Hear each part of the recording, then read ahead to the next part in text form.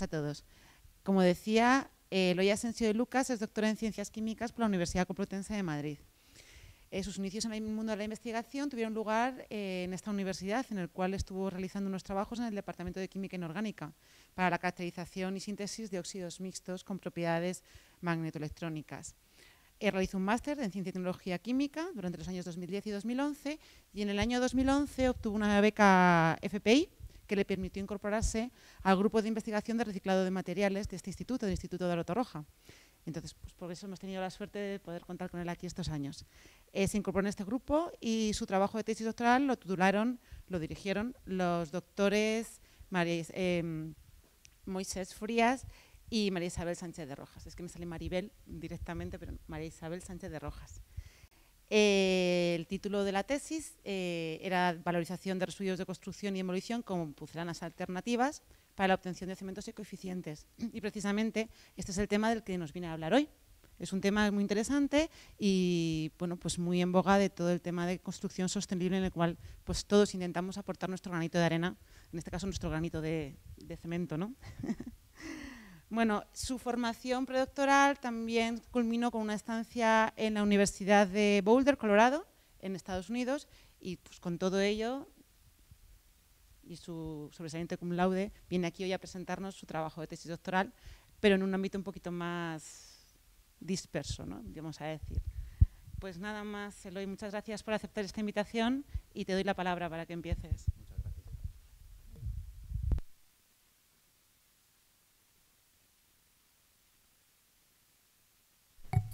Muchísimas gracias Isabel por la presentación. Gracias a todos los asistentes, tanto aquí en el Aula de Roja como los que nos están viendo por internet. Y nada, poco más que decir, que eh, vengo a presentar un poco de una forma un poco más divulgativa, un poco más distendida, como dice Isabel, el trabajo de investigación que llevé a cabo y que culminó con mi tesis doctoral, que lleva por título Valorización de residuos de construcción y demolición como puzolanas alternativas para cementos ecoeficientes y que pudo ser eh, llevado a cabo gracias a la financiación otorgada por distintos proyectos del, Plan Nacional.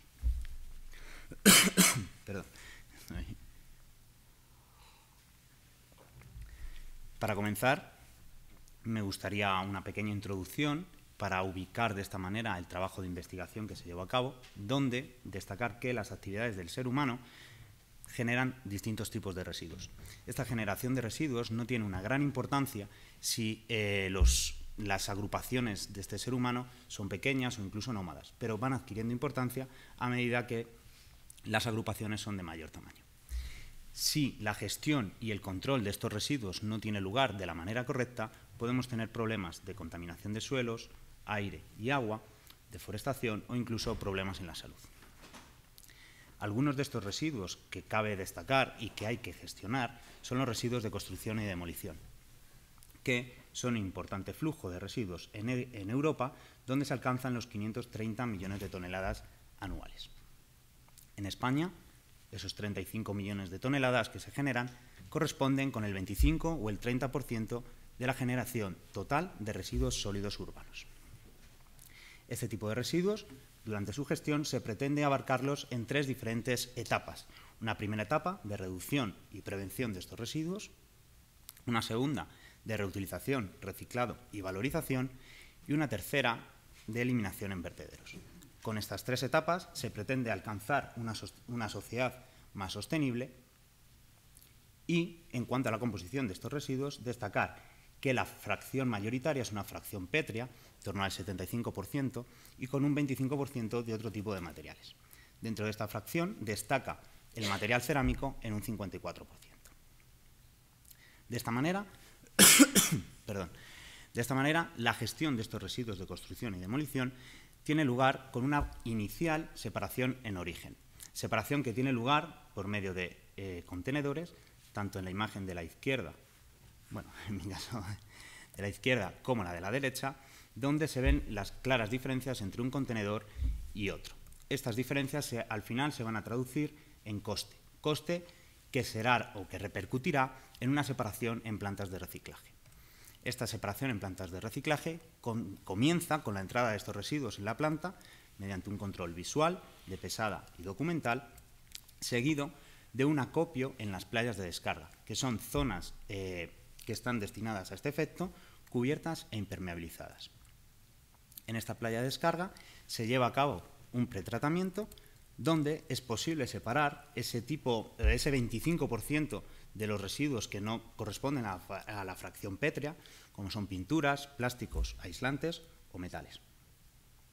Ya con ese pretratamiento realizado, se lleva a cabo la alimentación en la línea de la planta, donde se lleva a cabo la separación de los RCDs mediante cribado, separación magnética o separación neumática de esas fracciones con unas densidades y unos pesos inferiores.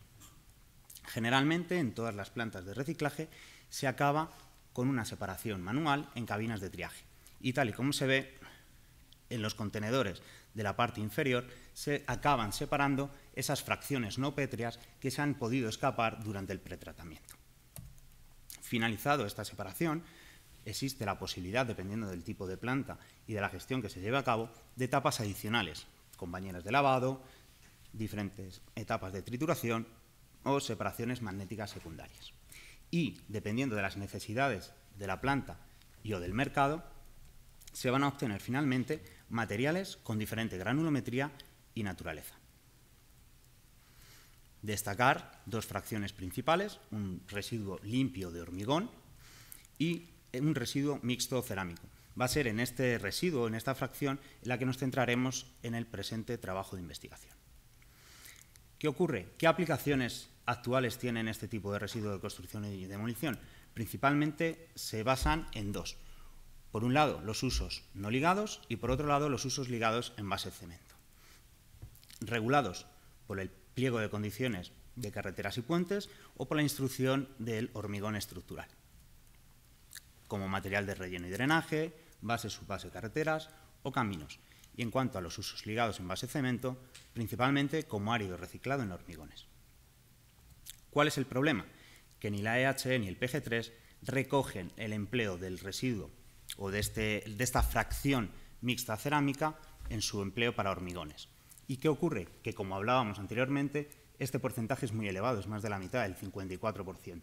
Habrá, se reducen las posibilidades de reutilización y habrá que buscar nuevas aplicaciones.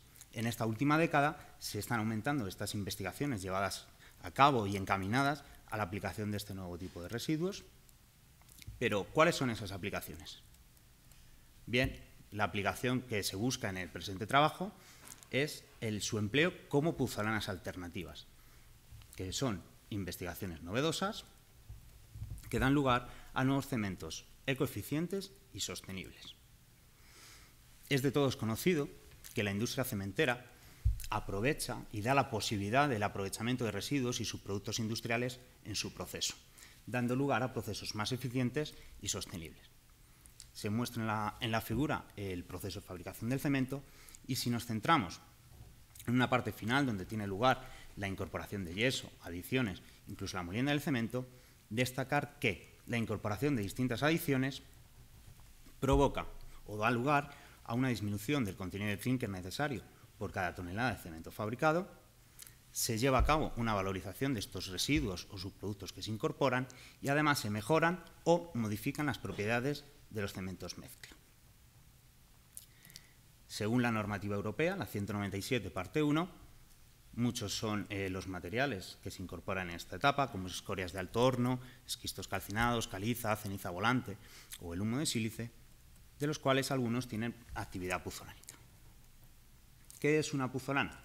Son eh, materiales con una naturaleza silícea o sílico-aluminosa que tienen contenido en óxidos de naturaleza ácida óxido de silicio, de aluminio o de hierro, que al reaccionar con el hidróxido cálcico, que puede provenir o bien de la hidratación del cemento Portland o bien de la cal apagada, dan lugar a productos hidratados que tienen unas propiedades conglomerantes.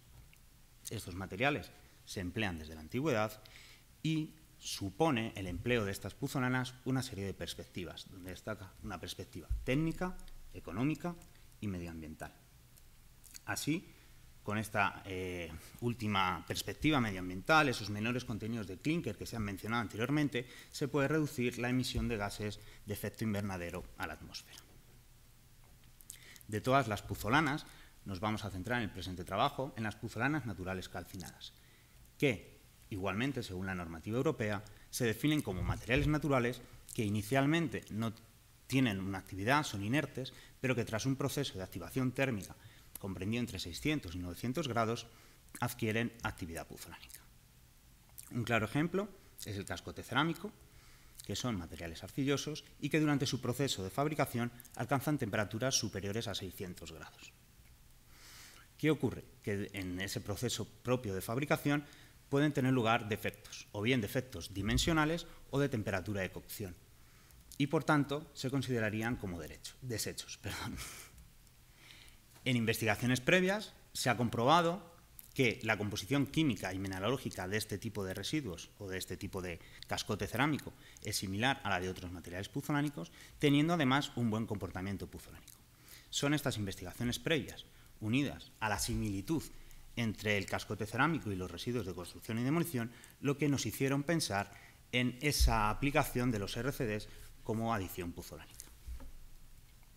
Es por todo esto por lo que surgen una serie de objetivos que se plantean, como es esa valorización de RCDs como puzolanas alternativas para cementos ecoeficientes, que es además el título de la presente charla, basada en una investigación básica, una innovación y un desarrollo para desembocar finalmente en el diseño de nuevos materiales de construcción procedentes de residuos de construcción y demolición de base cerámica que ofrezcan ventajas tanto tecnológicas como ambientales.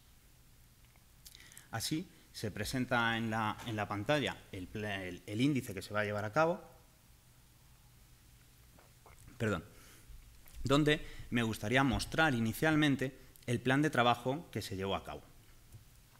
De esta manera, inicialmente se seleccionaron, se seleccionaron distintos residuos de construcción y demolición en las plantas de reciclaje y en el Instituto Eduardo Torroja de Ciencia de la Construcción se llevó a cabo el grueso de la investigación, donde tuvo lugar una caracterización de los residuos, el estudio de su actividad puzolánica, la incorporación de estos residuos al cemento y el estudio tanto de la hidratación en pastas como del comportamiento en base a la normativa y de durabilidad de estas pastas de cemento.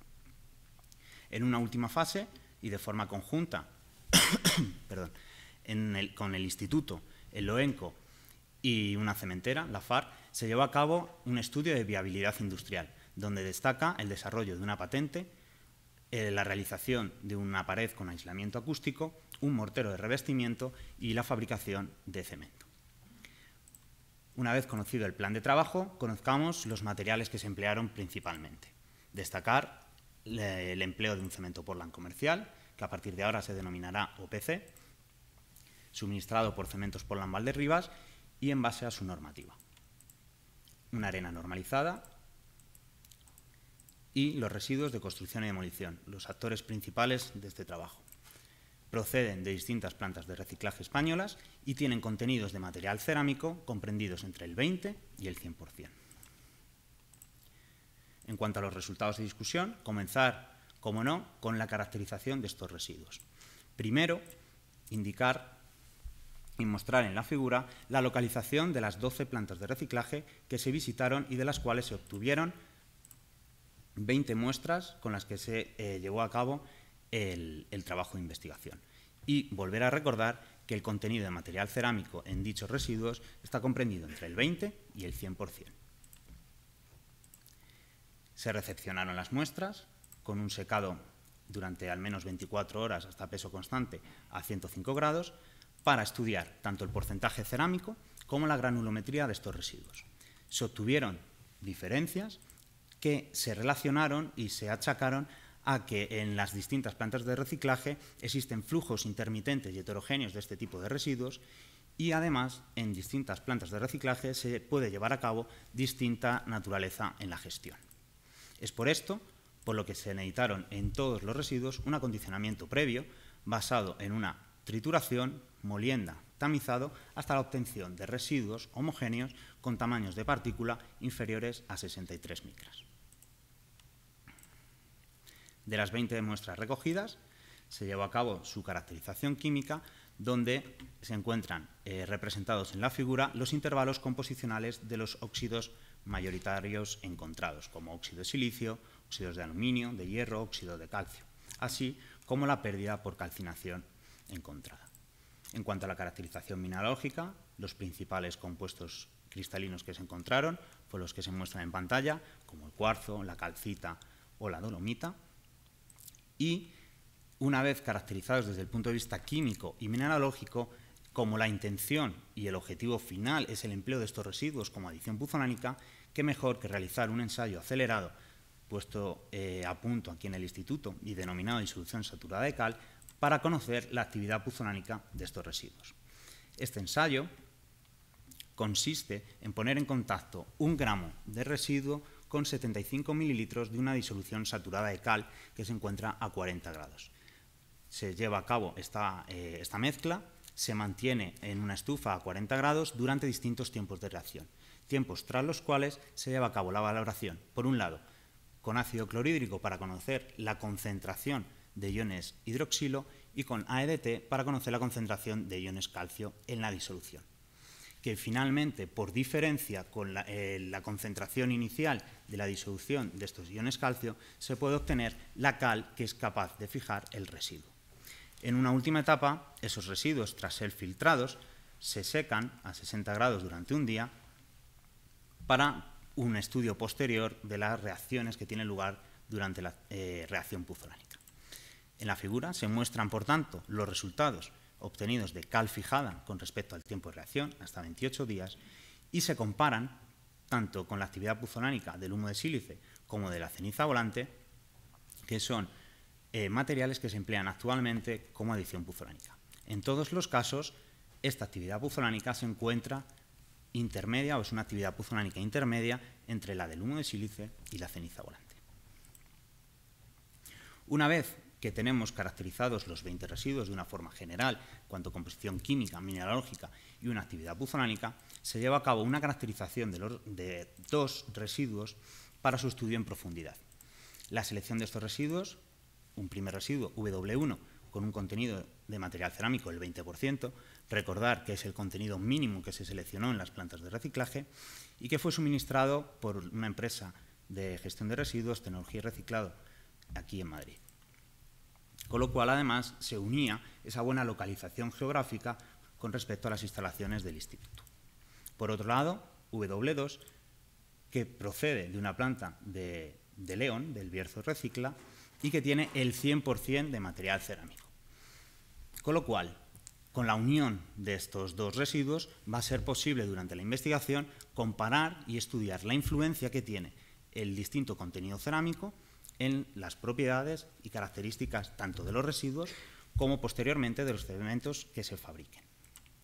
Destacar en la tabla una, tanto densidad, superficie específica como tamaño de estas partículas encontradas en ambos residuos, no habiendo unas diferencias significativas entre ellos. En cuanto a la caracterización química, muestra en la tabla los elementos mayoritarios, donde destaca el óxido de silicio como óxido mayoritario. Además, según la normativa europea, aquellos materiales que sean o quieran ser considerados como materiales puzolánicos deben tener al menos un 25% de sílice reactiva. En este caso, y tal y como se muestra en la pantalla, ambos residuos superan este porcentaje. Además del óxido de silicio, condición que ya se había eh, visto en la normativa europea, óxidos de aluminio y óxidos de hierro están presentes en estos residuos, superando en ambos casos el 60% en el sumatorio de ambos y llega, de los tres, perdón, y llegando al 85% prácticamente en el segundo residuo. Destacar además diferencias entre ambos residuos en contenidos de óxido de calcio y las pérdidas por calcinación y destacar, eh, ya no por la importancia en los propios residuos, sino sí eh, posteriormente eh, pudiera tenerla en los cementos que se fabriquen, los contenidos en sulfatos expresados como SO3, que también existen diferencias entre un residuo y otro. En cuanto a los componentes minoritarios, eh, obtener o se ve que no eh, se obtienen unos contenidos excesivos y volver a destacar eh, el contenido en cloruros únicamente de decir y resaltar que esos contenidos no tuvieron una importancia ni una relevancia en la posterior fabricación de cementos. En cuanto a la caracterización mineralógica, se presentan los difractogramas de ambos residuos, donde esa composición que se había observado para los 20 residuos en general vuelve a repetirse, en este caso para estos dos residuos, y destacar principalmente cómo aparece para el primer residuo máximos de difracción correspondientes a la basanita, son compuestos, eh, eh, compuestos a base de azufre que en el segundo residuo no existen, no están, y cómo la intensidad en el máximo de difracción de la calcita es superior en el primer residuo con respecto al segundo. Todo esto concuerda con los resultados previamente mostrados de mayores contenidos en óxido de calcio y de SO3 mostrados en la fluorescencia de rayos X. En cuanto al análisis térmico diferencial y termogravimetría llevado a cabo, se muestran primero para el primer residuo y para el segundo pero me gustaría mostrar una gráfica conjunta del análisis térmico diferencial de ambos residuos, donde destacar un primer intervalo de temperatura hasta 150 grados, donde tienen lugar, y se ven claramente, dos efectos endotérmicos centrados. El primero a 50 grados, que tiene lugar y que se debe a la deshidratación o a la pérdida de agua presente en estas muestras, y el segundo en torno a 100 grados, que puede ser debido que es debido a la presencia de esa basanita o incluso de illita. Además, ese segundo rango de temperaturas entre 400 y 550, debido a ese efecto endotérmico igualmente a la presencia de illita. Un tercer efecto endotérmico centrado a 572 grados centígrados, que se debe a una transformación cristalográfica que tiene lugar en el cuarzo, el paso de su fase alfa a su, a su fase beta. Y por último, el intervalo entre 600 y 800 grados, que se corresponde con la descarbonatación de la calcita.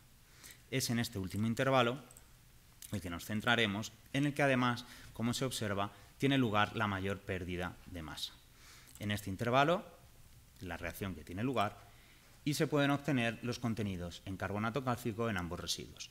Otra vez volvemos a estar, eh, bueno, en estos resultados a estar en concordancia con los mostrados anteriormente por fluorescencia de rayos X y por difracción de rayos X. En cuanto a la espectroscopía infrarroja por transformada de Fourier, destacar que de todas las bandas encontradas volvemos o me gustaría resaltar las diferencias encontradas en las bandas 3 y 7 entre ambos residuos, donde volvemos a ver cómo la intensidad de esas bandas es mucho mayor en el primer residuo que en el segundo. Esto nos vuelve a indicar un mayor contenido de carbonato cálcico. Y otra vez me gustaría resaltar esa concordancia con los resultados que previamente se han encontrado por otras técnicas instrumentales. En cuanto a la microscopía electrónica de barrido y el análisis por energías dispersivas, mostrar eh, la morfología general que tienen este tipo de residuos mediante la microscopía y sobre todo el análisis composicional donde de forma general se vuelve a observar esa composición basada en óxido de silicio, de aluminio y de hierro, donde vuelve, a quedar eh, presente y claro los mayores contenidos en óxido de calcio en el primer residuo con respecto al segundo y esas diferencias en esos compuestos basados en azufre entre el primero y el segundo. Destacar además en las siguientes micrografías cómo para el primer residuo y para el segundo se observan cristales de cuarzo con, una, eh, con un tamaño superior y que se encuentran embebidos en una matriz de un tamaño inferior compuesto por feldespatos principalmente. Esto se debe, estas diferencias de tamaño, a las diferencias en cuanto a la molturabilidad de los distintos materiales. Si bien ya hemos caracterizado los residuos, estos dos residuos, desde el punto de vista químico, mineralógico, incluso morfológico, destacar otra vez que eh, nos gusta, o me gustaría hacer especial hincapié en su actividad puzolánica ampliando el estudio que se llevó a cabo anteriormente para los 20 primeros residuos. De esta manera se muestra en esta ocasión, de la misma manera, la cal fijada con respecto al tiempo hasta un año de edad. Se observa, y volver a recalcar ese comportamiento similar al humo de sílice y la ceniza volante, y cómo hasta siete días la actividad puzolánica de ambos residuos es muy similar. Es a partir de esta fecha y este tiempo de reacción cuando se encuentran las mayores diferencias, lo que se achaca y se corresponde a unas diferencias en la composición química y mineralógica que adquieren una mayor influencia. Hay un mayor eh, contenido en compuestos ácidos, hay un mayor contenido en sílice reactiva en el segundo residuo, lo que desemboca en una mayor actividad puzolánica. mayor fijación de cal. De todas maneras, ambos residuos tienen un buen comportamiento puzolánico y sería interesante, o es interesante, la evaluación de esa reacción puzolánica. Una manera muy fácil de evaluar esa eh, actividad puzolánica y esa formación de productos de hidratación con propiedades conglomerantes a partir de esa reacción es mediante el estudio con ATD-TG. Si bien en un primer intervalo hasta 300 grados tiene lugar la deshidratación de todos estos productos de hidratación y fases hidratadas que tienen lugar, recordar el segundo efecto endotérmico debido a transformaciones del cuarzo, como el tercero debido a la descarbonatación de la calcita y un cuarto efecto, en este caso exotérmico, debido a transformaciones de fase de tipo espinela. Si nos centramos en los diagramas termogravimétricos, en ese primer intervalo donde tiene lugar esa deshidratación, destacar cómo esa pérdida de masa se puede eh, achacar y puede estar relacionada con esa presencia de productos de hidratación formados. Así, la pérdida de masa es superior cuando eh, se estudia la actividad puzonánica y los residuos eh, con un mayor contenido cerámico, mientras que eh, un contenido únicamente del 20% de material cerámico tiene una pérdida de masa inferior, lo que se corresponde con una menor actividad puzolánica y menores productos de hidratación. Además, destacar ah, cómo en el tercer intervalo, debido a esa descarbonatación de la calcita, si bien aumentan los contenidos de carbonato cálcico a 90 días, estos resultados se relacionan y se achacan directamente con la manipulación durante el ensayo debido a la carbonatación o a la propia carbonatación que tiene lugar de la disolución saturada de cal. Mayor, para eh, eh, concluir, para resumir, mayor contenido en producto de hidratación en el W2 da lugar a una mayor actividad puzolánica. Así, una vez que se han caracterizado de una forma completa los residuos de construcción y demolición y se ha visto la posibilidad y la viabilidad de su empleo como adición puzolánica, se llevó a cabo la realización de mezclas con cemento. Para la realización de estas mezclas se empleó los residuos unidos al cemento y homogenizados en túrbulas a alta velocidad para asegurar esa homogenización, dando lugar a contenidos de material cerámico o de residuo de construcción y demolición en el cemento, sustituciones del 10, 20 y 30%, y obteniéndose unos cementos con el aspecto que se muestra en la figura. Se llevó a cabo el estudio de la hidratación en pastas de cemento para ver qué influencia tiene eh, este tipo de residuos en un desarrollo normal de hidratación de las pastas de cemento. Se llevó a cabo mediante un seguimiento por difracción de rayos X a distintas edades, hasta 90 días, donde se muestran estos difractogramas obtenidos y la evolución de estos con el tiempo, destacar cómo evolucionan las fases anhidras, cómo tanto silicato bicálcico, silicato tricálcico, aluminatos o fase felítica van desapareciendo a medida que el tiempo de reacción va aumentando y cómo eh, esa disminución tiene lugar a mayores velocidades y es más efectiva en, los cementos que incorporan los residuos de construcción y demolición. En cuanto a la evolución de porlandita, un compuesto cristalino que se observa eh, fácilmente por difracción de rayos X, observar cómo para los mismos tiempos de reacción, para el cemento sin adiciones, esa porlandita aumenta hasta los 90 días mientras que cuando se incorporan residuos de construcción y demolición, el aumento es únicamente hasta los 28 días, disminuyendo la intensidad de ese máximo de difracción a 90, lo que indica esa reacción puzolánica. Se ve claramente, si fijamos la edad de ensayo y de hidratación a 90 días, cómo la intensidad de ese máximo de difracción para el cemento de referencia sin adición es superior a la intensidad que muestra el mismo máximo de difracción para cementos con incorporación de residuos de construcción y demolición.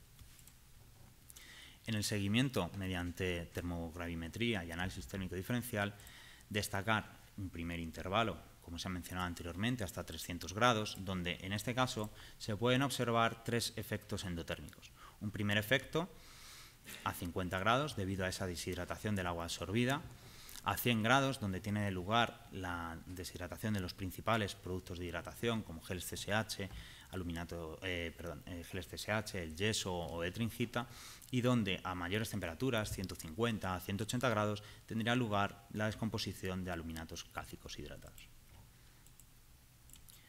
Un segundo intervalo entre 400 y 500 grados que se corresponde con la deshidroxilación de, de la porlandita y un tercer intervalo con esa descarbonatación de la calcita.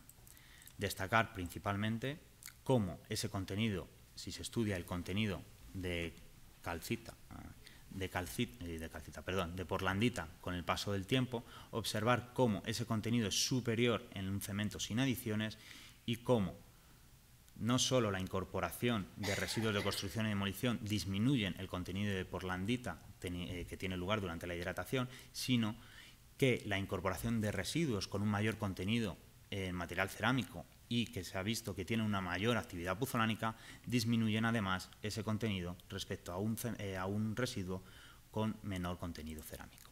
Menor contenido por landita, mayor contenido de productos de hidratación. En cuanto a la espectroscopía por infrarrojo, transformada de Fourier, destacar una primera banda que se debe y que es más intensa en el OPC que se debe a las interacciones de los OHs en la porlandita se ve que hay menor contenido, por tanto, de porlandita en los cementos que incorporan los residuos de construcción y demolición y una segunda banda, debida a los productos de hidratación, se ve que es más intensa que en el cemento de referencia sin adiciones y que, por tanto, dan idea de un mayor contenido de productos de hidratación. Ambos, eh, ambos efectos o ambos descubrimientos dan idea de nuevo de esa reacción puzolánica que está teniendo lugar en los cementos con adición. En cuanto a la microscopía electrónica, mostrar para distintos tiempos eh, de reacción cómo no existen unas grandes diferencias significativas en cuanto a las matrices de cemento cuando se incorporan eh, este tipo de residuos, pero sí destacar las diferencias encontradas en las placas de porlandita. En cuanto al cemento sin adiciones, se observan placas de porlandita de gran tamaño, y a medida que vamos incorporando residuos de construcción y demolición con una mayor actividad puzolánica, el tamaño de estas placas de porlandita cada vez es menor, llegando a ser aproximadamente de, unas 10, eh, de unos 10 nanómetros. Además, por tanto, mayor actividad puzolánica, placas de porlandita más pequeñas. Morfología eh, en forma de agujas de, de tringita encontradas en, los tres cementos, así como eh, placas eh, hexagonales de aluminatos cálcicos hidratados. En cuanto al estudio de la porosidad de las pastas de cemento, eh, se estudió inicialmente qué influencia tiene el tiempo de curado en esta porosidad y en todos los casos, en los tres cementos, se observa cómo a medida que el tiempo de curado aumenta, las curvas de distribución de tamaños de poro se desplazan a tamaños más pequeños, lo cual tiene lugar un refinamiento de esa estructura. Si por contra se estudia qué influencia tiene el RCD que se incorpora, observamos tanto a 1, a 3, a 28 y a 90 días como la incorporación de residuos con una mayor actividad puzolánica, en nuestro caso el W2, desplaza esos máximos hacia la izquierda en todos los casos. Por tanto, la incorporación de RCDs disminuye el tamaño de poro y un eh, residuo con una mayor actividad puzolánica disminuye aún más esos tamaños de poro. Si comparamos un cemento sin adiciones y el cemento que presenta una mayor eh, actividad puzolánica debida a ese residuo que incorpora y dividimos eh, los tamaños en diámetros inferiores a 0,1 o superiores a 0,1, se observa que a medida que el tiempo de curado aumenta, aumentan el número de poros con un diámetro inferior y disminuyen el número de poros eh, con un tamaño superior. Además, se observa cómo existen diferencias y el aumento de los poros de menor tamaño es superior cuando el cemento incorpora residuos de construcción y demolición.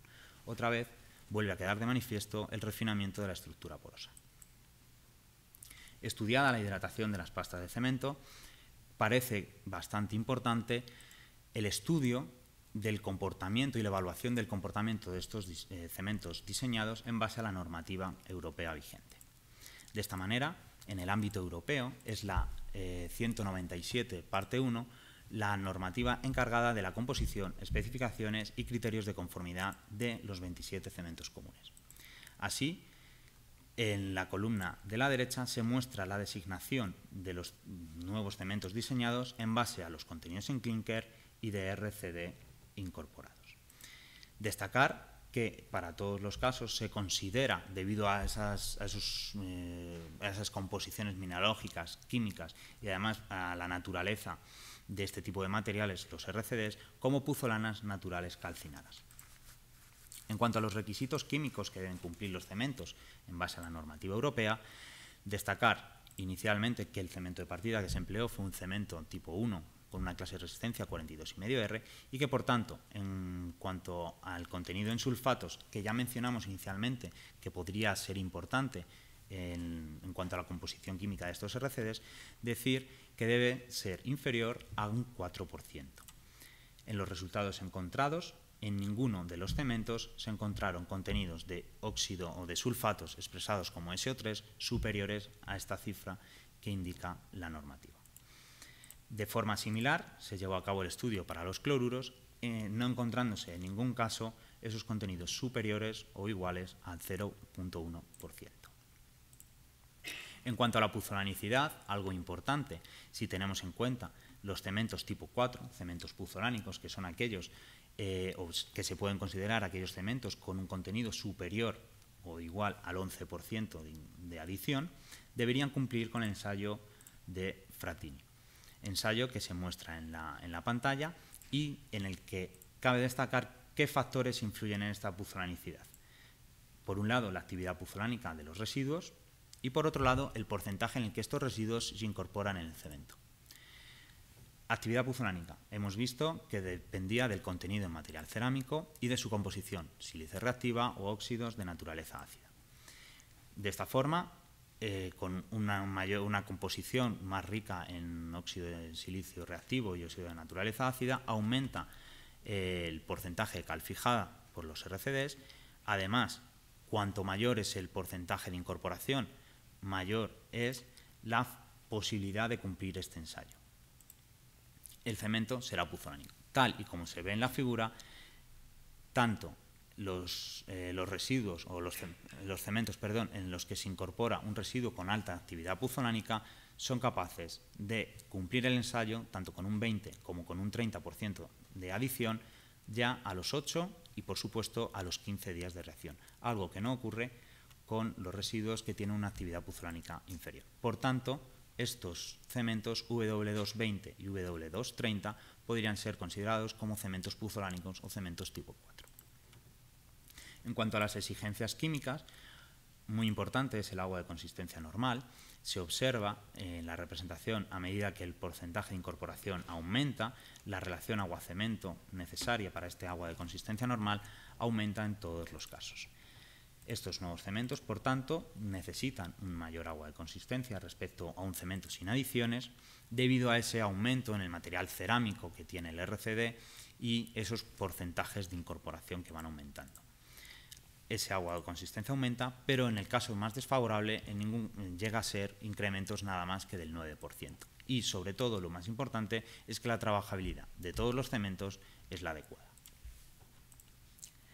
En cuanto al estudio del tiempo de fraguado y la expansión, comenzar por el tiempo de fraguado de inicio, donde se observa que en todos los casos el tiempo de inicio de fraguado es superior a 60 minutos y destacar cómo un mayor contenido en carbonato cálcico que se observaba en los cementos que incorporan el primer residuo da lugar a un adelantamiento o a una disminución de ese tiempo de inicio de fraguado. En cuanto al estudio de la expansión, en ninguno de los cementos estudiados se observaron cementos expansivos. En cuanto a resistencias mecánicas, se estudiaron en morteros y en compresión, donde de forma general se muestran tanto en la figura de la izquierda eh, los correspondientes a la incorporación del primer residuo y en la figura de la derecha la incorporación del segundo residuo se observa que en líneas generales se obtienen resistencias inferiores a las del cemento eh, o el mortero em, mm, fabricado con un cemento patrón. Pero si nos eh, quedamos a la edad de 28 días, una edad de referencia para la normativa europea, resaltar que cuando se incorpora un residuo con una actividad puzolánica inferior, se obtienen disminuciones de la resistencia con respecto al patrón más o menos o aproximadamente, podríamos decir, iguales a la sustitución que tiene este residuo en el cemento. Por tanto, se podría decir que eh, para 28 días nuestro residuo que se está incorporando no aporta resistencia a estos morteros. Por contra, si evaluamos las resistencias o los eh, incrementos, en este caso, incluso cuando es un 10% de adición de resistencias que tiene lugar con el patrón, son mucho más favorables cuando el residuo que se incorpora es un residuo con mayor actividad puzolánica. Esto nos indica que las resistencias mecánicas, aun quitando un porcentaje determinado de cemento, el residuo es capaz de aportar y de eh, reaccionar con la cal, dando lugar a esos productos de hidratación con propiedades conglomerantes de las que hablábamos anteriormente. Si nos desplazamos en el tiempo hasta un año de curado, en este caso ya la incorporación de un residuo con menor actividad puzolánica eh, tiene disminuciones en la resistencia mecánica, correcto, pero esas disminuciones ya no son única, eh, es únicamente el, el, mismo porcentaje de cemento que se ha quitado, con lo cual esa actividad puzolánica empieza a surtir efecto y mejorar esas resistencias mecánicas. Volvemos otra vez con la incorporación de un residuo con una actividad puzolánica muy superior, donde en todos los casos tenemos resistencias superiores a las de un mortero fabricado con un cemento de referencia y sin adiciones. Así, mayor actividad puzolánica de los RCDs, mayores resistencias mecánicas. Y como se ha visto, la incorporación de W2 alcanza resistencias superiores a las del patrón. Si representamos esas resistencias mecánicas a compresión para la edad de dos días y en base a la normativa europea, vemos cómo el cemento que incorpora el primer residuo en un 30% no cumpliría con esa resistencia mínima de, un 20%, de 20 megapascales a dos días de, de curado. Y si establecemos los mismos límites que marca la normativa para 28 días, tanto de 42,5 como de 62,5 megapascales, vemos cómo vuelve a ser el mismo cemento el que no cumple con esta normativa. Esto no debe preocuparnos, porque aunque este cemento no cumpla con la normativa ni a 2 ni a 28 días, no pasa nada, eh, no hay problema, no puede ser considerado como un cemento 42,5R, pero, perdón, pero sí podría ser designado como un cemento con una clase de resistencia inferior de un 32,5R. Si importantes son las resistencias mecánicas y las propiedades físicas y químicas de los cementos, también lo es el calor y el estudio del calor de hidratación. ¿Por qué? Porque durante la hidratación del cemento tienen lugar reacciones exotérmicas, que dan lugar eh, al calentamiento de la masa del mortero, que tiene una gran importancia debido a que se puede dar lugar fisuración, agrietamiento o retracciones, que posteriormente van a dar problemas en la durabilidad de este tipo de estructuras. Debido a las grandes cantidades de cemento que se requieren, es muy importante controlar el calor de hidratación en los hormigones en masa, por ejemplo, en la fabricación de presas.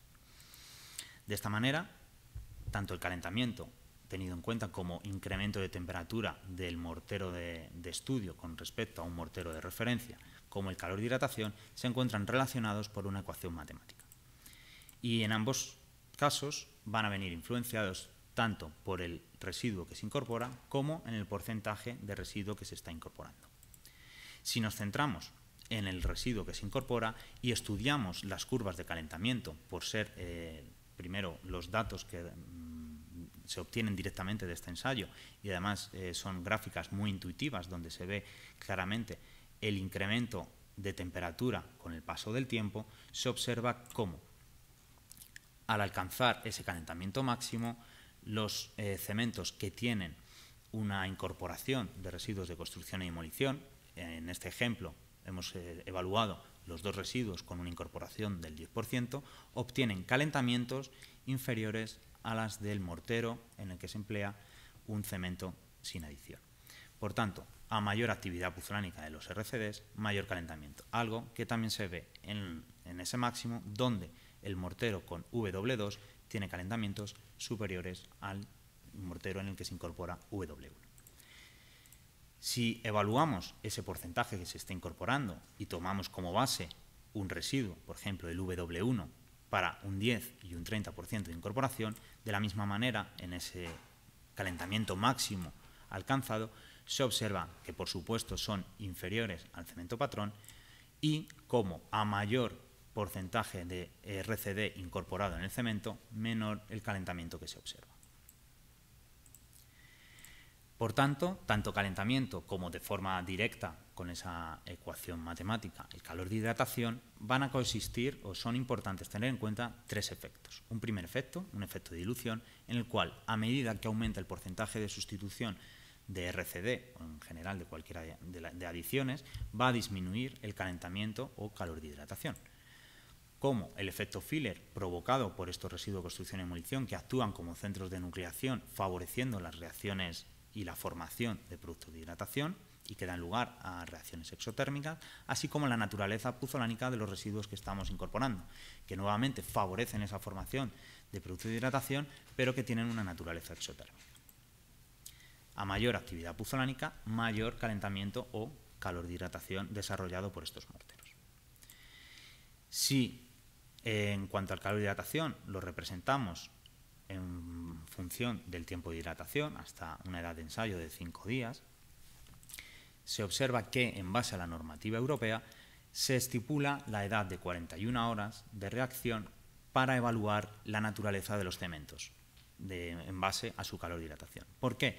Porque a partir, como se puede ver en la figura, a partir de las 41 horas, el comportamiento de todos los morteros es prácticamente, en cuanto al calor de hidratación, constante.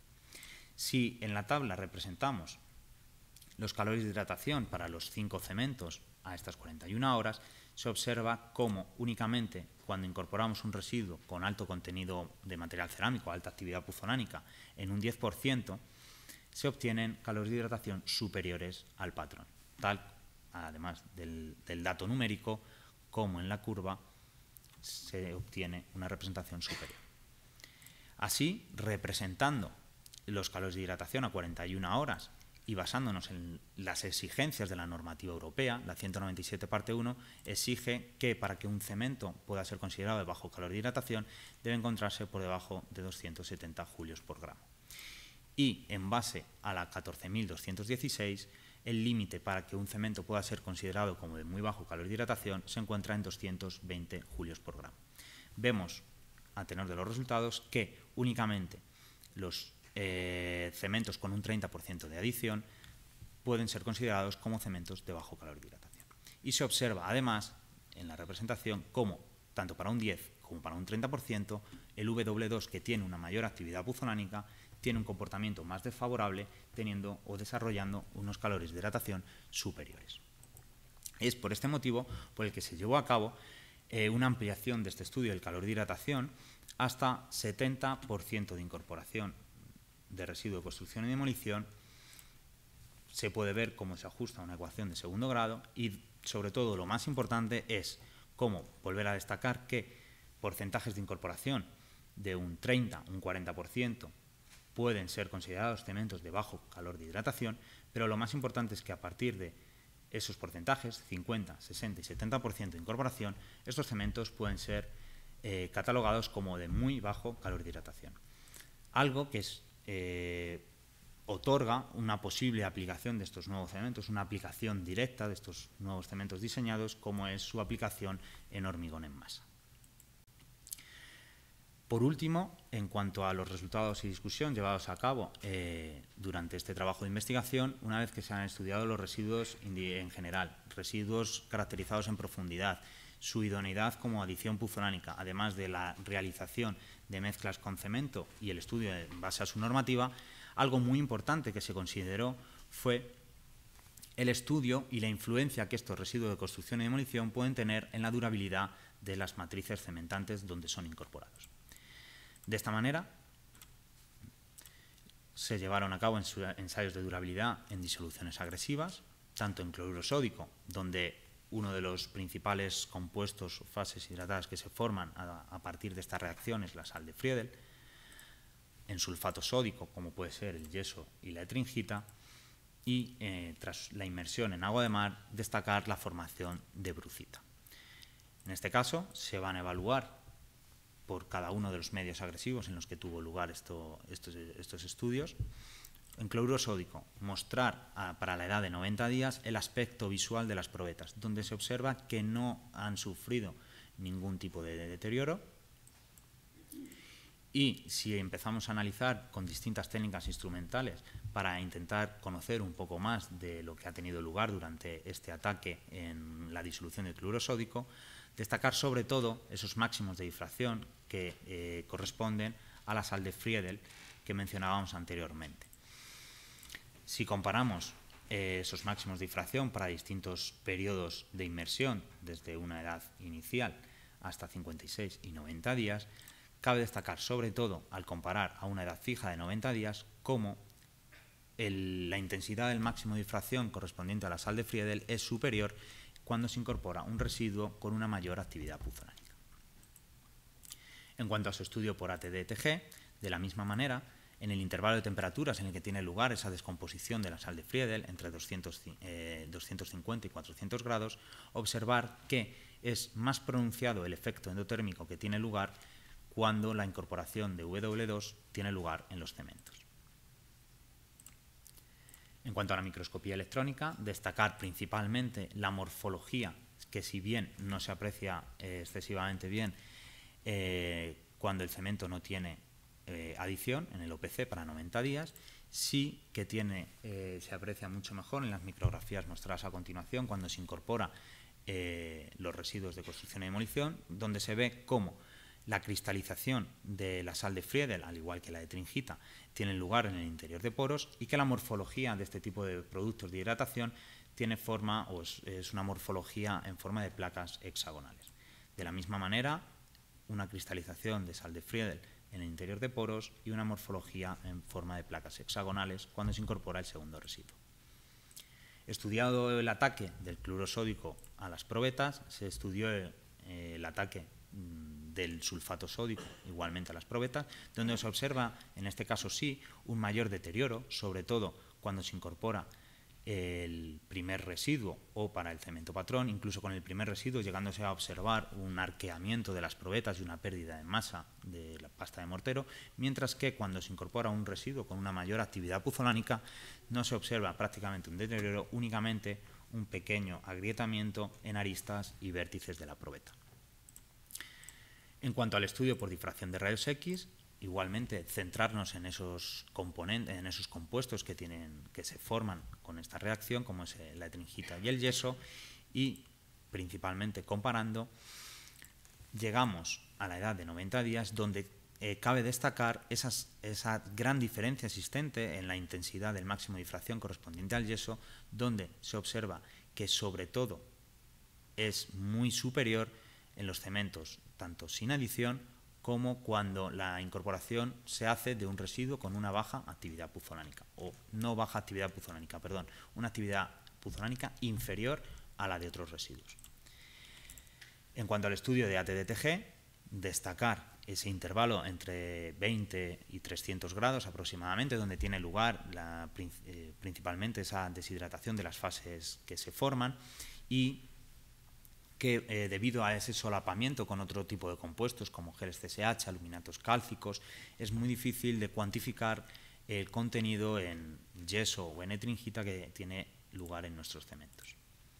En cuanto a microscopía electrónica, igualmente volver a mostrar la morfología y corroborar esa morfología en forma de agujas, morfología circular en nuestros cementos para la etringita y en forma de placas hexagonales de yeso, tanto para el patrón como para el W130 y volver a remarcar esa eh, cristalización y esa formación de, compuestos principalmente en los poros, tanto de tringita como de esas placas hexagonales de yeso. Y por último, en el, en el, otro, en el último cemento, destacar más imágenes de tringita, podemos decir que no hay agujas, y de la formación de yeso en estas matrices cementantes. En cuanto a la inmersión, por último, en agua de mar, observar un deterioro eh, intermedio, por así decirlo, entre el deterioro observado tras una reacción con cloruro sódico y una reacción con sulfato sódico, pero volver a destacar que las probetas en las que se incorpora un residuo de alta actividad puzolánica no han sufrido cambios visualmente apreciables. En el estudio por difracción de rayos X, centrarnos principalmente en la aparición del máximo de difracción correspondiente al hidróxido de magnesio, a la brucita, que se puede observar cómo para los tres, para los tres cementos se observa la aparición de ese máximo de difracción a partir de los 56 días de edad y que si comparamos a una misma edad se observa que no hay unas diferencias significativas entre la intensidad de estos máximos en los distintos cementos. Algo que se vuelve y que se puede corroborar en los estudios de ATDTG, donde en el intervalo comprendido entre 350 y 450 grados, que tiene lugar esa descomposición, deshidroxilación de la brucita, no hay unas diferencias aparentes en cuanto a la intensidad de este efecto endotérmico que tiene lugar a partir de los 56 días y tampoco una diferencia muy notable en cuanto a los tres cementos. En cuanto a la microscopía electrónica, sí que nos eh, arroja unos resultados bastante interesantes, donde nos muestra cómo eh, la brucita tiene lugar, la cristalización y la formación en el borde de la probeta. En estas imágenes de abajo se ve muchísimo mejor debido a que esta parte de aquí es el exterior, mm, no es probeta, es el exterior, y se observa esa capa. Y mucho más concluyente son las imágenes a menos aumentos donde se observa la formación de esa capa en el exterior y en todo el perímetro de la probeta. Además, eh, fue posible observar en partes de probetas donde hay ese desprendimiento de la capa de brucita que según muchos autores inicialmente puede dar una protección para futuros ataques y que en este caso ese desprendimiento ocasionaría una pérdida de protección. Igualmente, por eh, backscattering y coloreando en color verde eh, el magnesio, es fácil observar cómo la concentración de ese ion que proviene de la disolución de agua de mar se localiza únicamente en el borde de la probeta formando esa brucita. Estudiada la morfología y un poco los compuestos que tienen lugar durante esta reacción, importante es, y en base a la metodología de Koch-Steiner, estudiar el comportamiento mecánico. Comportamiento mecánico que, según esta metodología, se basa en el estudio de los índices de corrosión, que evalúan eh, la relación existente entre las resistencias mecánicas a flexotracción en los medios tras el ataque de los medios agresivos y las resistencias a flexotracción tras el mismo tiempo de curado en agua destilada, a la edad de 56 días. En la figura se muestran estos índices para todos los medios agresivos y para los tres cementos, donde se observa que el límite establecido por esta metodología de 0.7 en todos los casos es superado. Por tanto, podemos decir que todos los cementos que se han diseñado, independientemente de que, tal y como se ha visto en las imágenes, hay probetas que sí se observa un gran deterioro, o incluso descomposición, todos los cementos son durables en estos medios estudiados. ¿Qué ocurre con la porosidad de estas pastas? Bien, a 56 días, en los tres cementos, si estudiamos tanto en agua destilada, cloro sódico, sulfato sódico o la inmersión en agua de mar, se observa cómo, en todos los casos, se produce un refinamiento de la estructura. Además, si indicamos el porcentaje de, poros que tienen un diámetro inferior a 0.01, se observa como en todos los casos, para todos los medios agresivos, incluso el agua destilada, el mayor porcentaje de este tipo de poros de menor tamaño lo tiene el W230 con lo cual ese refinamiento, de eh, ese mayor incremento de los poros de menor tamaño nos indica una mayor actividad de W2. Para terminar, en cuanto a resultados, eh, me gustaría, eh, tiene un capítulo aparte, las aplicaciones industriales que han derivado de esta investigación. La primera fue el desarrollo de una patente a partir de los resultados que se obtuvieron las propiedades químicas, físicas y ese beneficio medioambiental que se supone del empleo de unos residuos y de su incorporación en la industria cementera y que se piensa que este tipo de, empleo es una alternativa muy atractiva para la obtención de cementos ecoeficientes. Por tanto, volver a recalcar esa incorporación de residuos de construcción y demolición en un porcentaje superior al 20%, con ese acondicionamiento mencionado anteriormente de secado y obtención de un tamaño de partícula inferior a 63 grados, se incorpora al cemento en porcentajes inferiores o iguales al 55%, obteniéndose cementos, el cemento de la patente, por así denominarlo, con el aspecto que se muestra en la pantalla. ¿Qué se obtiene o qué se consigue? La valorización, por supuesto, de estos RCDs, nuevos cementos denominados grises que cumplen con la normativa europea, un buen comportamiento puzolánico, como se ha estado viendo a lo largo de toda la presentación, y esa reducción en el impacto ambiental de la industria cementera, consiguiendo reducir emisiones de gases de efecto invernadero, menor consumo de materias primas, etc. Como segunda aplicación, se diseñó un mortero con, eh, características acústicas y se evaluó este comportamiento acústico al ruido aéreo en cámaras normalizadas. En cuanto a la dosificación del mortero, se modificó un poco respecto a la normativa en base a dos, eh, principalmente a dos vías. La primera, se incorporó, o la relación entre el cemento y el árido fue superior, en vez de una relación 1,3 fue una relación 1,4, cuya finalidad es un mayor reciclado de residuos de construcción y demolición. Y por otro lado, la, eh, relación agua-cemento se multiplicó por dos, llegando hasta una relación agua-cemento de 1, para obtener morteros más porosos. En cuanto a la realización del ensayo, que se llevó a cabo aquí en el Instituto de Eduardo Torroja, eh, se realizó en cámaras normalizadas, donde tenemos una cámara A, que es de emisión, una cámara B de recepción y intermedia el mortero que se va a ensayar.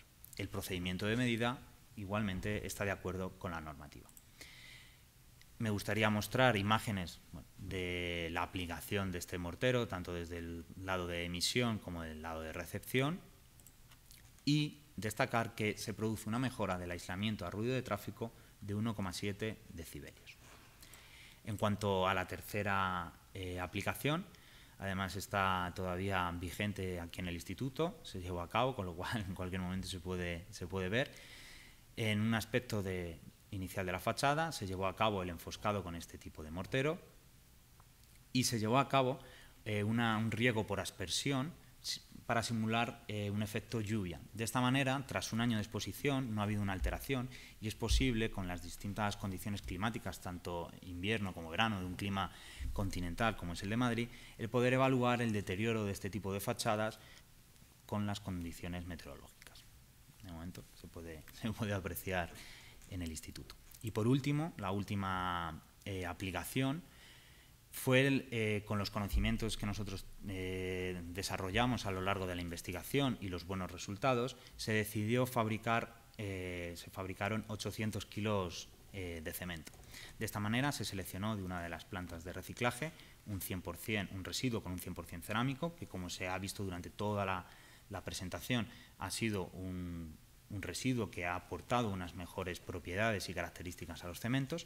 Se llevó a cabo una molienda con un molino de, bolas hasta obtener un producto homogéneo con una superficie específica de unas 5.700 metros cuadrados por gramo, que unido y homogenizado en una mezcladora durante unos 10 minutos con el cemento, se obtiene el cemento mezcla. Un cemento con un, se ha fabricado un cemento con un 25% de material cerámico. Y eh, se ha, llevado a cabo un estudio económico en el cual se ha podido demostrar que el empleo de estos residuos de construcción o que el posible empleo de estos residuos de construcción y demolición en, eh, en la fabricación de una tonelada de, cemento sería comparable al empleo de cenizas volantes.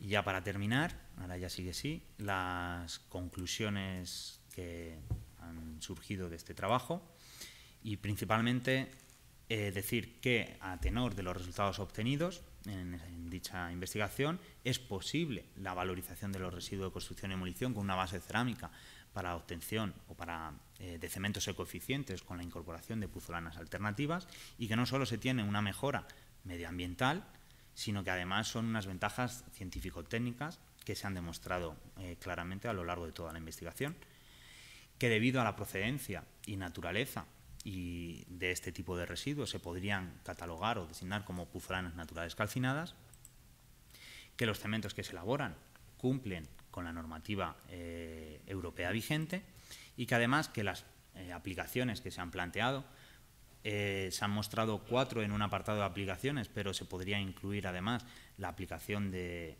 este empleo de estos cementos como hormigón en masa debido a, esos, a esa posibilidad de reducir el calor de hidratación, abren un amplio abanico de valorización de, los residuos de construcción y demolición. Y para terminar ya, únicamente dar las gracias a todos por su atención, su asistencia y al Ministerio de Economía y Competitividad por eh, los dos proyectos gracias a los cuales ha podido ser llevada a cabo esta investigación. Muchas gracias.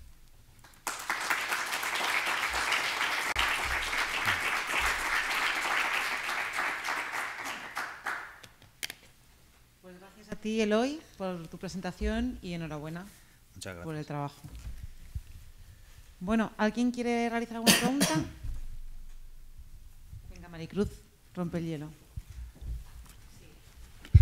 Sí, porque hay que intentarlo al menos, ¿no? Eh, felicitaciones, Eloy. Gracias. Porque eh, lo primero no pude ir a la presentación de la tesis y bueno, este ha sido prácticamente. Eh, me ha gustado mucho el trabajo, me ha gustado además lo bien que lo has presentado y los resultados que habéis sostenido.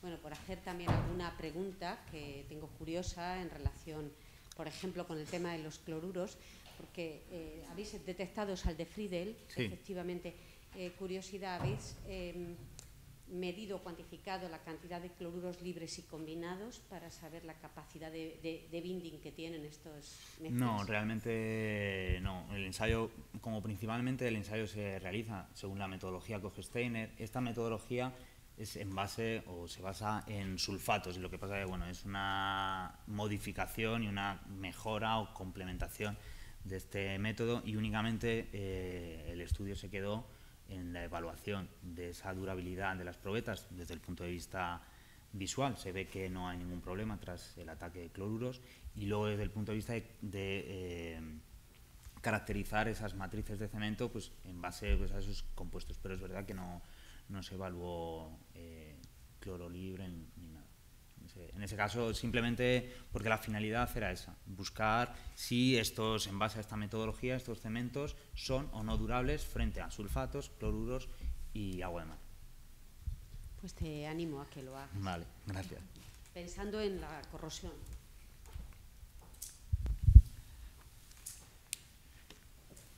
¿Alguien tiene alguna pregunta más?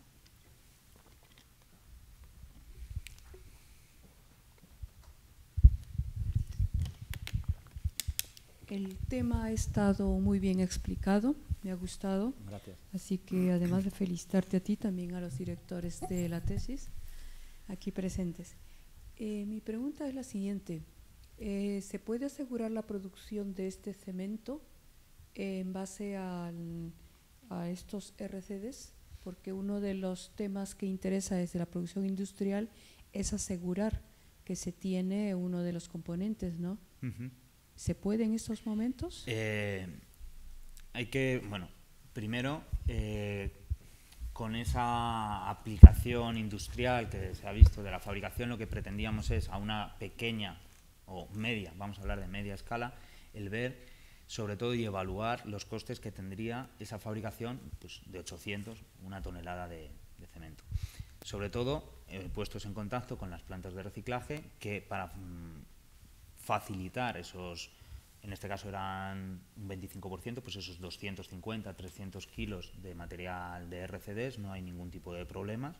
Y lo único que sí es importante es que, al igual que ahora este tipo, o los, el árido reciclado procedente del machaqueo de hormigón está perfectamente implementado y no hay ningún problema, lo que habría que hacer es dar una salida, si se otorga una salida comercial o una aplicación directa para este tipo de RCDs, que tanto cementeros como plantas de reciclaje vean esa posibilidad de mercado, esa posibilidad comercial, desde nuestro punto, o desde el mío en particular, habiendo visitado 12 plantas de reciclaje, estas plantas tienen eh, la posibilidad de fabricar en este tipo de residuos. La única limitación que podrían tener son esos flujos intermitentes de los que hablamos, que es verdad que no durante todo ese tipo de residuos no llegan con una misma composición a la planta. Pero que yo creo que en el momento en el que esto se pudiera poner en marcha sí que podría ser perfectamente viable desde el punto de vista de la industria cementera. Nada. ¿Alguna pregunta más?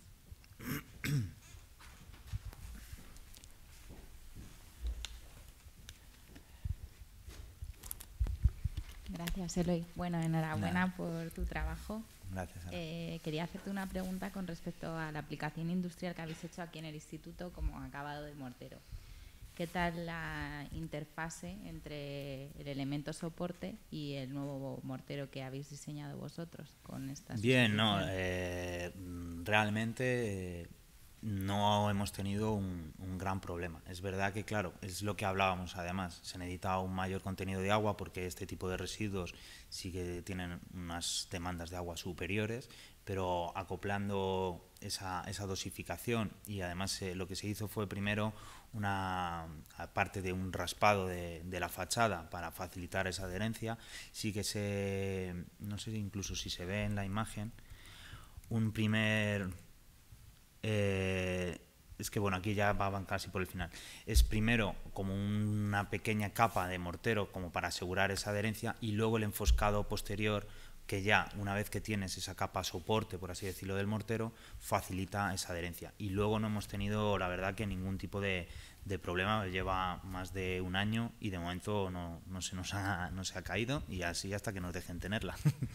Te lo que- digo porque con el tema de la buena trabajabilidad que has dicho de este tipo de morteros, podríais plantear el tema de hacia un mortero de reparación en fachadas históricas y demás por las- el buen comportamiento que tiene ante agresiones, como has por Sí, sí, no, además eh, en ese sentido como un poco con el contenido de material cerámico, por ese color rojizo que tienen, ¿no? Tejas y ladrillos, po- podríamos, entre comillas, eh, conseguir un- unos cambios de, de color, porque no sé, bueno, se aprecia, yo creo, en las, en las mm, probetas, ¿no? Como ese W230 que tiene ese contenido en un residuo con 100%, es- son probetas prácticamente naranjas. Por eso hablaba luego, entre comillas, de estos nuevos cementos grises, ¿no? Porque realmente la verdad es que sí que sería muy buena idea. Pues nada, enhorabuena otra vez. Gracias, Sara. ¿Tenéis alguna pregunta más por aquí? ¿No? Yo sí que tenía, bueno, tenía apuntadas varias preguntas, pero ah, sobre todo la que remarcaba la profesora respecto a, a la, a la viabilidad de la utilización o sea, de, de fabricación de ese tipo de cementos debido al- al- a los residuos, sobre todo, más que por la cantidad de residuos, porque supongo que también será bastante caro obtener residuos que tengan estos altos porcentajes. Claro, eh, Requeridos. realmente es como mencionaba en la introducción. Sí. Todo debe comenzar, eh, o sea, para el fin último que sería la aplicación o el empleo de estos residuos en la industria cementera, todo debe empezar muchísimo antes. Y es en esa separación en origen. Es algo, es un eslabón eh, principal y que como yo remarcaba con el saco de, dinero, es si esa separación, si, si los contenedores llegan con unos materiales o podemos decir un, material sucio, que no sea únicamente eh, una fracción pétrea, cuanto más sucio sea, más, primero, más le va a costar al que gestiona, eh, al que llega con el camión eh, a la planta, unas tasas superiores en para la gestión de por tonelada de ese residuo. Y segundo, claro, en la planta de reciclaje va a tener que haber muchísimo más pretratamiento para separar todos esos materiales, que no es una fracción pétrea, y luego aparte, en el caso que hablábamos de la cabina de triaje, mayor personal para esa separación a mano de los posibles productos. ¿Qué ocurre? Que si desde el punto de vista de plantas de reciclaje se ve una salida comercial como que un producto, porque realmente nosotros en las plantas de reciclaje se han visitado, tienen productos 100% cerámico porque, por ejemplo, se emplea eh, con una granulometría determinada en las pistas de tenis de tierra batida. O sea, realmente entonces eso tiene una salida, si tiene una salida comercial es perfectamente viable. Lo que hay que acoplar son esos, esa gestión, esas distintas etapas para intentar hacerlas o que el rendimiento aumente al máximo posible. Sí, es que eso es, el, yo creo que, el, porque evidentemente los, las mezclas se, se comportan bien, tienen muy buenos comportamientos, yo creo que la cuestión está en que el, que el material sea, se pueda asumirse de manera continua. Yo tenía alguna pregunta más, porque bueno, ha habido en respecto al calor de hidratación, cuando has hablado, has estado poniendo datos de muestras de hasta el 70-80% de sustitución. Me ha, resultado bastante llamativo, ¿no? Porque, bueno, ¿es viable una sustitución del 80%? ¿O eh, habéis, llegado a una situación de compromiso de decir, vale, hasta para el 30, que es el estudio, 10 o 30 es el estudio que habéis hecho más extenso, eh, ¿cuál es la situación de compromiso? ¿Hasta qué tanto por ciento puedo reemplazar? Sí, realmente ese caso es algo es, extraordinario porque únicamente se llevó a cabo esas sustituciones del 40, 50, 60 y 70% para el estudio del calor de hidratación. Mm. Porque vimos que... ¿Resistencias de compresión no habéis hecho? No, no, no, no. no. Es, eh, es únicamente para esto. Porque sí que en la bibliografía, por ejemplo, las cenizas volantes, que sí son muy empleadas mm. para hormigón en masa, sí que hay eh, publicaciones en las que se llega a sustituir hasta el 60-70%. Entonces queríamos ver algo un poco comparativo. Pero es verdad que resistencias mecánicas no nos han hecho porque no, no, no, no llegamos a, a tanto. Únicamente queríamos ver en un estado inicial de la investigación desde el punto de vista de calor de hidratación si eran capaces de disminuir tanto o no como para ser designados como de bajo o muy bajo en este caso calor de hidratación.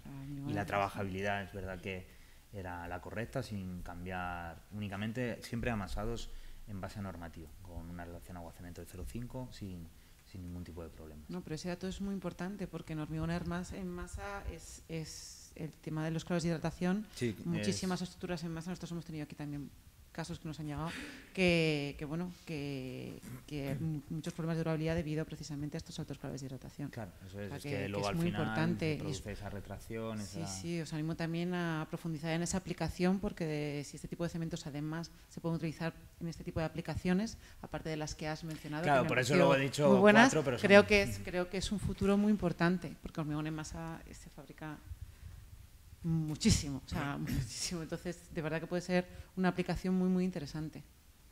Sí, esa luego, hoy la he recordado, ¿no? Se había quedado a lo largo de la presentación, pero sí sería... No, no, es muy, muy interesante. Es una aplicación indirecta que surgió a partir de la... Pues yo te diría que es que es, ahí tenéis una vía muy importante para mejorar, sí, sí, sí.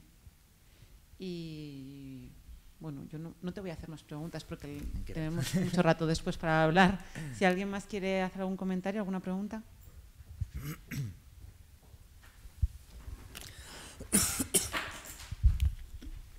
Bueno, de antemano felicitarte, hoy por tan excelente trabajo. Y tenía una corta duda y es que tú nos hablabas que con base en el ensayo de consistencia normal habían incrementos de hasta el 9% en la demanda de agua y luego se, me surgió la duda en cuanto, cuando evaluaste el desempeño mecánico de estos morteros, ¿la referencia fue la consistencia normal o mantuviste constante la relación agua-cemento? Claro, eh, mantuve constante relación agua-cemento porque como eh, los ensayos de resistencia están hechos en morteros, hemos seguido siempre todo en base a, normativa. Ah, Entonces, eh, al final, claro,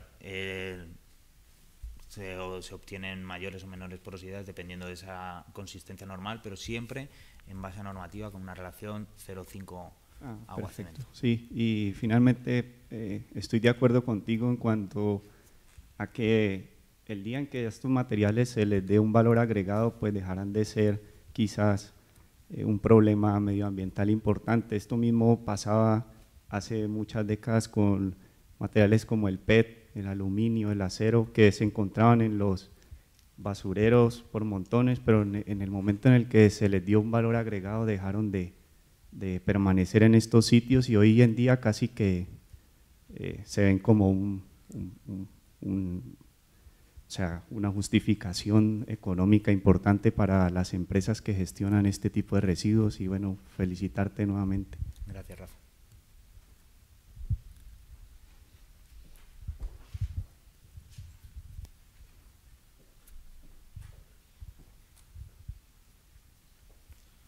Pues si no tienes ninguna pregunta más, lo único que nos queda es darte de, de nuevo la enhorabuena. De verdad es un trabajo muy bonito, me ha gustado mucho y no tenía la suerte de conocer. Así que, pues, enhorabuena. Vale, muchas gracias, Isabel. Y gracias a todos por, por vuestra asistencia y, y vuestra paciencia. Nada, solo recordaros por último que el próximo seminario Toroja tendrá lugar aquí dentro de dos semanas y la tema, eh, nos lo va a impartir una profesora de la Universidad de Granada, que es María Martín Morales, y va a hablar sobre áridos reciclados, así que va a ser otro componente más y otro puntito más para esta construcción sostenible que tanto nos estamos empeñando en meter en el sector, que parece que no, que no acaba de entrar, pero que veo una línea muy interesante y que tenemos que continuar trabajando. Pues muchas gracias a todos y hasta la próxima